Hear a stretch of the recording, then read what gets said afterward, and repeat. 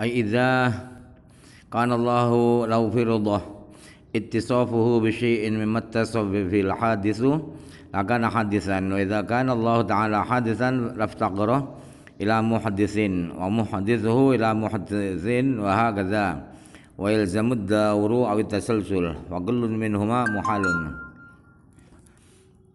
apabila Allah itu seandainya diumpamakan, diandaikan Allah itu bersifatkan dengan sesuatu dari sifat-sifat yang menjadi sifatnya sesuatu yang baru, maka Allah itu berarti baru juga. Ketika Allah itu baru, maka Allah uh, membutuhkan uh, sesuatu yang membarukan, yang menciptakan Allah. Sedangkan yang membarukan Allah juga membutuhkan kepada yang membarukan dirinya dan seterusnya dan akan berakibat tasalsul eh, daur atau tasalsul. Padahal masing-masing keduanya itu adalah mustahil. Aidha kan alau qala aidha aidha furida ittisafuhu ta'ala ila khiri la salima mimma fi hadat tarkibi minal qalaqah. Seandainya pengarang mengatakan begini ai idza furidat tisafuhu ta'ala bukan ya ittisafuhu ta'ala dan seterusnya. Maka beliau akan terhindar dari dari ke eh, kekakuan. Kekakuan yang ada di di dalam susunan beliau. Wa inna inna mata bi tafsiri lidaf'i ma yutawahamu min qawlihi annahu law kana syai'un min anal ma'na law kana syai'un min al hawadisi ta'ala iradatin ka iradati ta'ala ilmin ka ilmihi ta'ala wa hakadha pengarang uh, membuat uh, tafsiran ini ai kana dan seterusnya itu itu tujuannya adalah untuk uh, untuk uh, menepis dugaan-dugaan yang terjadi di dalam kata-kata beliau annahu laukana syai'un dan seterusnya itu yaitu dugaannya ialah bahwa pengertiannya bahwa kata-kata laukana syai'un dan seterusnya itu adalah apabila ada sesuatu dari sesuatu sesuatu yang baru itu bersifatkan seandainya bersifatkan dengan sifat kudrat yang seperti kudratnya Allah Ta'ala bersifatkan iradat yang seperti iradatnya Allah bersifatkan ilmu yang seperti ilmunya Allah dan seterusnya sama basor dan seterusnya ah begitu. Itu dugaan dugaan yang salah. Harusnya ditepis dengan kata-kata itu uh, ai idzakana itu. Fa asyara bihadza ila anna dzalika laisa muradan inna al muradu annahu ta'ala law ittasafa bi sifatin min siwafil hawadisi ila akhirihim.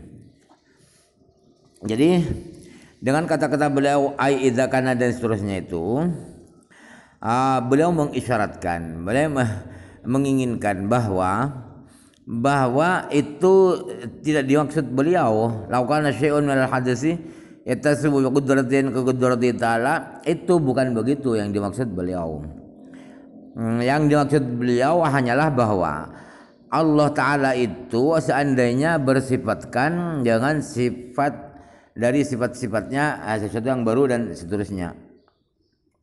Qaulul mata mim bisyai'in matasafa. Yukhadhu minhu yukhadhu anna al-murad bil mumasalati huna al-munadharatu kama marran. Dari kata-kata beliau bisyai'in minat tasawuf mimman mimma tasawufihim maka bisa difahami bahwa yang dimaksud dengan mumasalah itu di sini adalah munadharah jadi sama dalam dalam sebagian sisi. Kalau mau masalah sama dalam segala sisi. Padahal tidak sama di satu sisi saja ah, itu sudah ah, mengakibatkan Allah hadis. Jadi bukan memasalah, tak maksudnya adalah munadharah sebagaimana sudah diterangkan. Qauluhu lakana hadisan jawabulau fi qaulihim innahu kana ila akhiri wa sayati ta'dilul mulazamah bain muqaddam tali fi kalamil ati fil hasil Lakana hadisan itu adalah sebagai jawab lau, jawaban lau. Dalam kata-kata beliau annahu laukana, lau. Laukana ya atau idakana.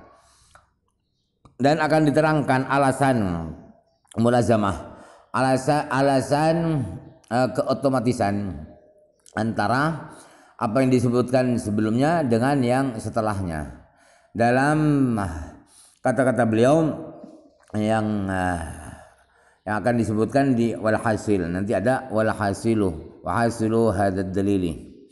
Akan diterangkan di situ.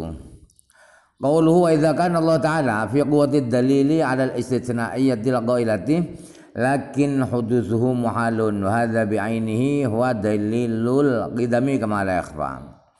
Kata-kata beliau wa idza kana Allah Ta'ala wa idza kana Allah Ta'ala hadisan laftaqara itu dan seterusnya itu adalah kualitasnya adalah kualitas dalil. Pot, uh, kualitasnya adalah kualitas dalil atas uh, apa? Uh, mukaddimah istisnaiyah. Dalam istisna istilah mantik ada istilah istilah istisnaiyah.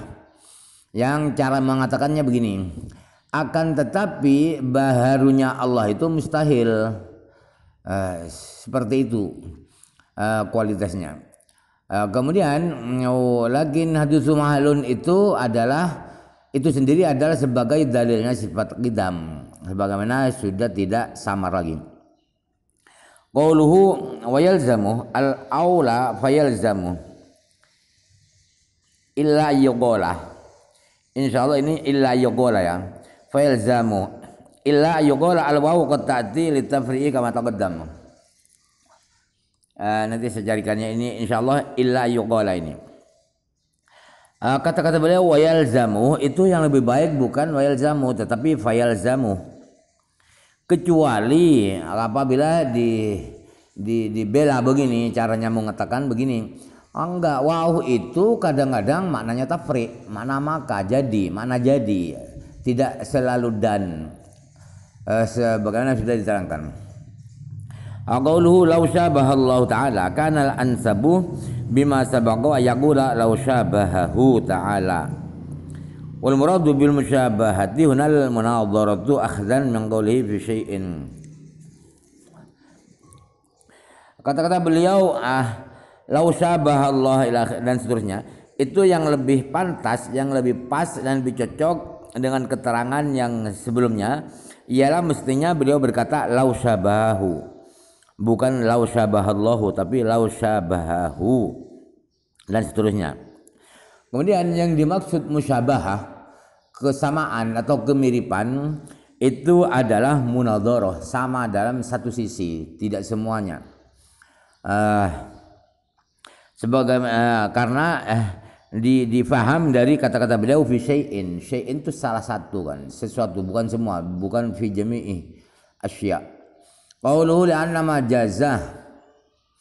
Uh, luarnya dulu ya. Wa hasulu hadha dalil an taqula law syabaha Allah taala hadisan min al hawadisi fi syai'in lakana hadisan mislahu. Li'anna ma jaza ala haddil misraini jaza ala al-akhiri wa huduthuhu musta'ala mustahilun li'annahu ta'ala wajibun lahu laqidamu kesimpulan hasil itu kesimpulan dalil ini ialah uh, anda mengatakan begini seandainya Allah itu menyamai dengan sesuatu yang baru dari sesuatu yang baru dalam satu sisi saja maka Allah berarti baru sama dengan sesuatu yang baru tersebut. Kenapa pasti baru Allah kalau sama? Karena apa yang mungkin pada salah satu dua dua hal yang yang yang sama dua perkara yang sama itu pasti uh, mungkin juga uh, terjadi pada yang satunya. Sedangkan kebaharuan Allah itu mustahil. Kenapa mustahil? Karena Allah itu pasti qidam wa idzan tafa'anhu anhu ta'ala al-hudutsu thabata uh, mukhalafatuhu ta'ala lil hawadisim ketika sudah tidak mungkin ter, ter, terhapus tiada. Ketika kebaruan itu tiada daripada Allah maka berarti sudah resmi positif Allah itu tidak sama dengan hal-hal yang baru. Falaisa bainahu wa bain ta'ala wa bainal hawadisi musyabahatun fi syai'in qad'an ah jadi antara Allah taala dengan dengan yang baru-baru itu tidak ada kemiripan atau kesamaan dalam satu apa pun pasti Wadha wa dalilul ijmaliyul wajibu ma'rifatuhu kama taqaddama. Dalil di atas ini adalah dalil yang secara uh, secara garis-garis besar yang wajib diketahui sebagaimana sudah diterangkan Qauluhu uh, لأن ما جزا وجه ذلك أن ما ثبت لأحد المثلين يثبت للآخرين Wahada ta'lilun lisyardiyati. Kata-kata beliau li'anna ma jaza dan seterusnya itu uh, adalah uh, logikanya bagaimana? Nalarnya kok bisa begitu? Ialah begini bahwa apa yang positif uh, ada pada salah satu dua dua perkara yang sama uh, uh, itu juga uh, positif juga ada pada yang satunya Ah, eh, ini tak alasan lian nama jazah itu adalah alasan daripada uh, daripada mukaddimah syartiyah. Wa qawlu hudutsu ta'ala fi qawatil istisna'iyati yaqulu li'annahu ta'ala ta'lilun laha. Kata-kata beliau wa hudutsu ta'ala itu kualitasnya adalah kualitas sebagai uh, qadiyah istisna'iyah. Kata-kata beliau li'annahu ta'ala itu adalah sebagai alasan daripada istisna'iyah itu. Falaisa bainahu ta'ala mufarra'un ala ma qablahu. Kata-kata beliau falaisa bainahu ta'ala itu adalah dicambangkan, dikembangkan daripada keterangan yang sebelumnya. Qawlu qut'an ijazman min ghairu taraddudin.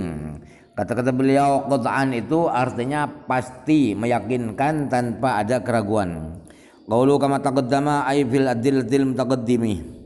Kama taqaddama itu maksudnya adalah seperti adalah di dalil-dalil yang sudah diterangkan. Uh, As-sifatul khamisatu al-wajibatu lahu ta'ala al-qiyamu bin nafsi abid zati. Sifat yang kelima yang pasti ada pada Allah Ta'ala ialah sifat qiyam bin nafsi. Qiyam bin nafsi itu berdiri pada zatnya.